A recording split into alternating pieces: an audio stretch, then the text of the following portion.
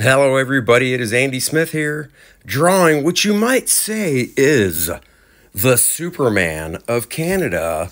That's right, Guardian or Vindicator. He went through a couple name changes. John Byrne's famous character, he uh, debuted in X Men, I believe it was 109. James Hudson, uh, who would become the leader of Alpha Flight, one of my favorite John Byrne books. Uh, still love it. Got the big fat omnibus, so I thought I'd draw him. And the reason I threw in the Superman reference, guys, if you don't recognize this, I've got no problem saying it. This is a homage, if you will, in all respect to the great Jose Luis Garcia Lopez. This is a famous Superman pose that uh, Jose drew, and uh, what can I say? I love it. I think it's really cool. Sometimes I'll see a pose that I really think is cool and just go, I want to do my take on it.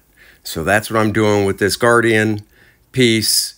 Uh, you guys know the routine that usually watch the these time lapse. I start with the big uh, lead holder HB lead. It's pretty blunt. I don't like getting it to a point to sketch in the, the first initial steps of the drawing, the shapes, anatomy, and such. And then at some point, uh, once I have all that sketched in and I want to start working in details, I will uh, lighten up the drawing with a kneaded eraser or something like that and use a 0.5 mechanical pencil, same lead, HB, to go in and tighten up the details of the drawing.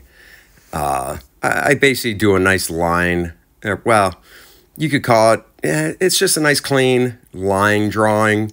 It's what I refer to as my breakdowns, and breakdowns are uh, pretty much all the drawings there, the costume details, things like that, but none of the lighting or rendering or anything. And that's what you would give to an inker who would do what is referred to as finishes. Uh, but this is what I ink from now. I don't do tight full pencils for myself.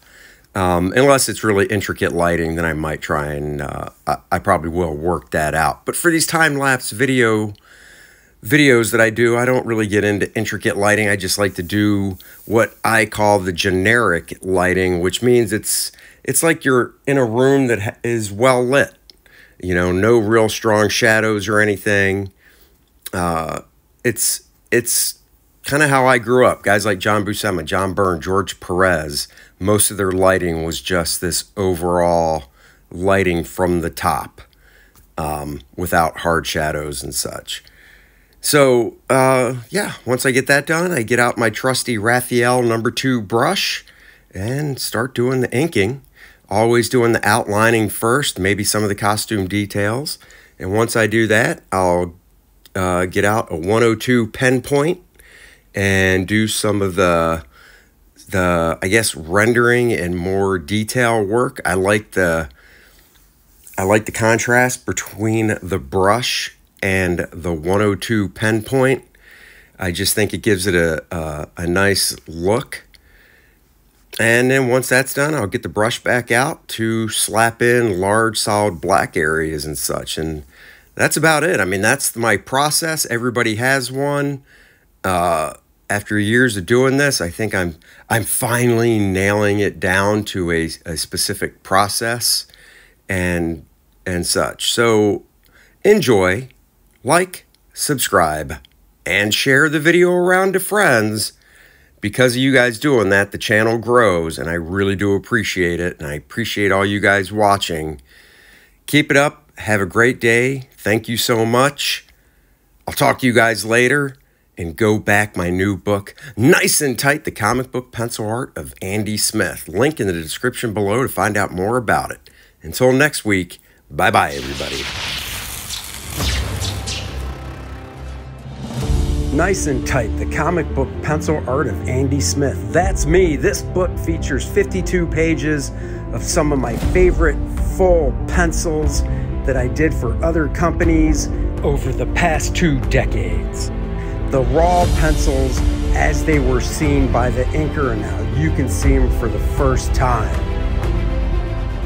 This book also comes in a digital format so you can practice your inking in your favorite program. Back it today.